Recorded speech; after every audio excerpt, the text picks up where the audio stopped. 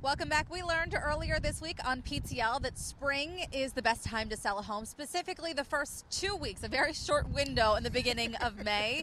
And so a lot of you may be getting ready to list your home, clearing out the clutter. So, or maybe you just want to do some spring cleaning I and do. get the clutter out of your home. Mm-hmm. So, we asked our favorite antiques expert, Dr. Lori, to come make a house call and tell us what we should be doing so that we don't make a mistake. That's right. You don't want to get rid of something valuable, right? Perf, of course. So, a couple of things I always tell people, and I've said this at my shows for 20 years, I hate to admit fine art, furniture, precious metals, including jewelry. Okay? So, oh, that ugly picture of Aunt Hildegard on the wall might be valuable. Might be. Okay? Okay. Well, not just that, but the that. frame. The oh, frame Oh, the could frame. That's my girl. Yeah, exactly. the frame. So don't forget about the frame. So those types of things. If it's a family heirloom, it's a military collectible. If it's something that you know has been handed down and handed down and handed down, I really don't need this anymore. Okay.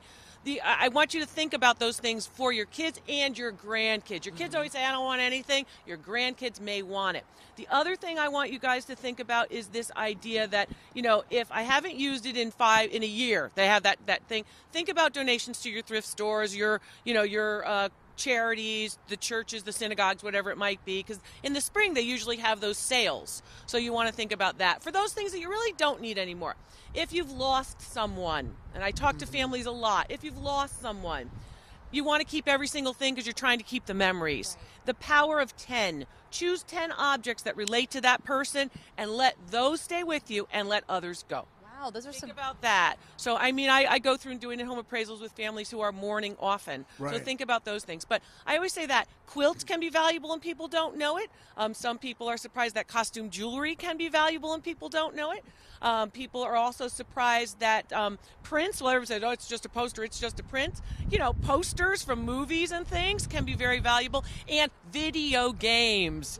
Your 1980s, Oh, really? 1990s Atari, those kinds of things, you know, your old Pac-Man kinds of things, but video games can be very valuable. And I'm talking $10,000, $30,000, $100,000 for one game.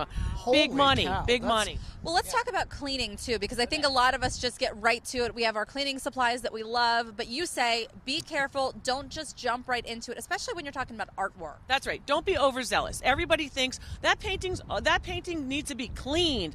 Paintings don't always need to be cleaned as often as you might think, unless somebody was a very heavy smoker or you know the the, the varnish on the painting has really really started to darken. You typically don't need to clean a piece.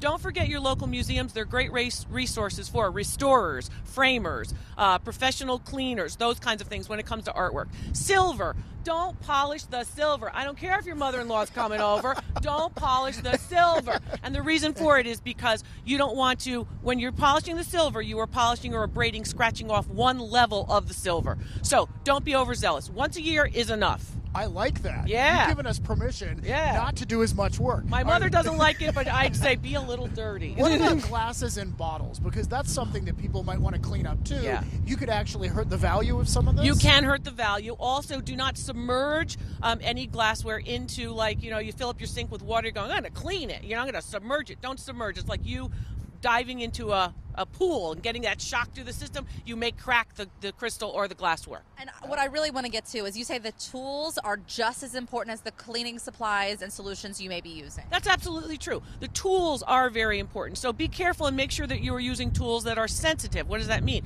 Use a Q-tip instead of using some, you know, heavy tool. So Sponge, yeah. Sponge, yeah. So you want to be careful of what tools you use. You want to also protect yourselves. You know, I love my gloves. I wear them all the time. So make sure that you are protecting yourself while you do it. And don't stand up and clean. Sit down, put a towel down, and make yourself comfortable and stable. Don't clean when you're tired either. Clean if you have something fragile. Don't do it then. Wait until you've got everything going for you. So, So but, common you know. sense and such good advice. Common sense. Thank you very much. Yes, I hope it's good advice. This is why I love Pittsburgh because you're all reasonable. So, and we love so you, much. Dr. Lori. Oh, I love Thank you, all. joining us. I've as had a always. wonderful week, and we're here this weekend at the home show. You can bring your objects, but it's wonderful to be here and you know clean a little, but go have some fun too. Yeah. We're not in Kansas anymore, that's for sure. no,